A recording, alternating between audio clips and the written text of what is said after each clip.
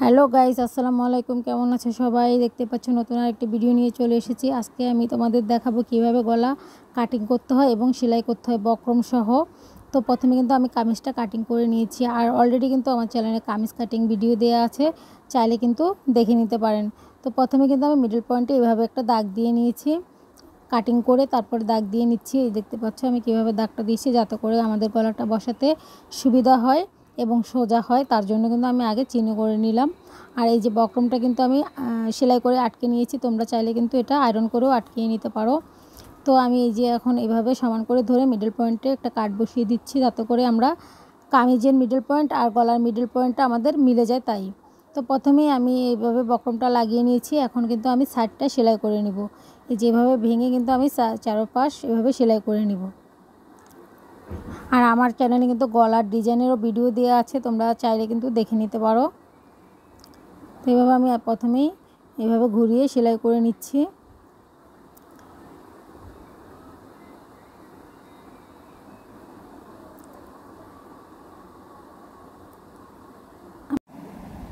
তো আমার প্রায় সেলাইটা কমপ্লিট হয়ে গেছে। এখন আমি গলা কামিজের সাথে এটা অ্যাড করে নিব। দেখতে পাচ্ছ আমি কীভাবে সেলাই করেছিলাম। অবশ্যই খুব আস্তে আস্তে সেলাইটা করব।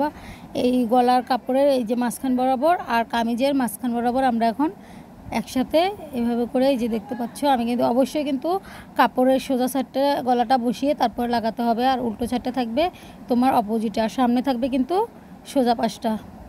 তো এখন এই যে মিডল পয়েন্ট আর কামিজের মিডল পয়েন্ট এভাবে আমি লাগিয়ে আগে একটা ফলস সেলাই দিয়ে নিব, যাতে করে লড়াচড়া না করে স্ট্রেট থাকে। তো এই যে আমি সেলাইটা দিয়ে নিচ্ছি, দেখতে পাচ্ছ কীভাবে দিচ্ছি। আমি কিন্তু পুরোটা সেলাই দিব না। প্রায় তিন, চার ইঞ্চি পরিমাণ সেলাই দিয়ে জাস্ট একটু আটকে নিব। বাস ওকে হয়ে গেছে। এতটুকুই সেলাইটা করে নিব। এখন আমি এটা খুলে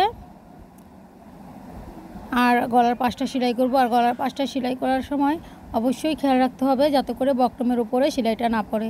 বক্রমের বাহির দিক থেকে আমরা সেলাইটা করে নিব। বক্রমের উপরে কিন্তু সেলাই করব না। আর গলা সেলাই ক্ষেত্রে খুব আস্তে আস্তে সেলাইটা করতে হবে। ঘুরিয়ে ঘুরিয়ে ডিজাইনার গলার সময় কিন্তু খুব আস্তে আস্তে সেলাইটা করতে হবে। যেভাবে করে একদম আস্তে আস্তে করে যেতে হবে। এখন আমি এটা ঘুরিয়ে এভাবে আবার সেলাই করে নিচ্ছি।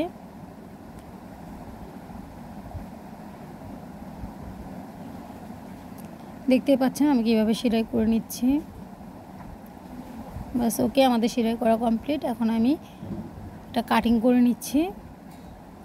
আর আমরা যে সেলাইটা করেছিলাম, তার বাহির থেকে আমরা দুই সুতা পরিমাণ বাহির থেকে এভাবে কেটে নিব। এই যে দেখতে পাচ্ছ, আমি কীভাবে কাটিং করে নিচ্ছি।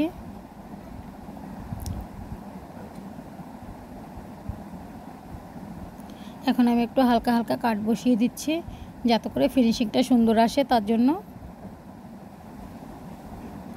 তো আমার চ্যানেলে কিন্তু কামিজ কাটিং ভিডিও দেওয়া আছে, চাইলে কিন্তু দেখে নিতে পারো। আর গলার ডিজাইনেরও কিছু কিছু ভিডিও দেওয়া আছে, চাইলে দেখে নিতে পারো। আর আমরা এখন চাপ সেলাই দিয়ে নিচ্ছি, আর অবশ্যই চাপ সেলাইটা কিন্তু গলার কাপড়ের উপরে দিতে হবে। এই যে দেখতে পাচ্ছ, বক্রমের উপরে। এভাবে কিন্তু একদম পাশ থেকে কিন্তু আমাদের সেলাইটা করে নিতে হবে। আর এভাবে যদি সেলাইটা করে নিই, তাহলে কিন্তু ফিনিশিংটা অনেক সুন্দর আসবে।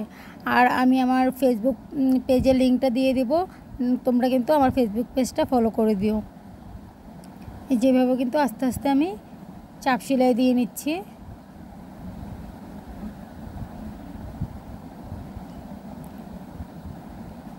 এভাবে সেলাই করলে অনেক সুন্দর ফিনিশিং আসে আর অনেক সুন্দরও লাগে দেখতে।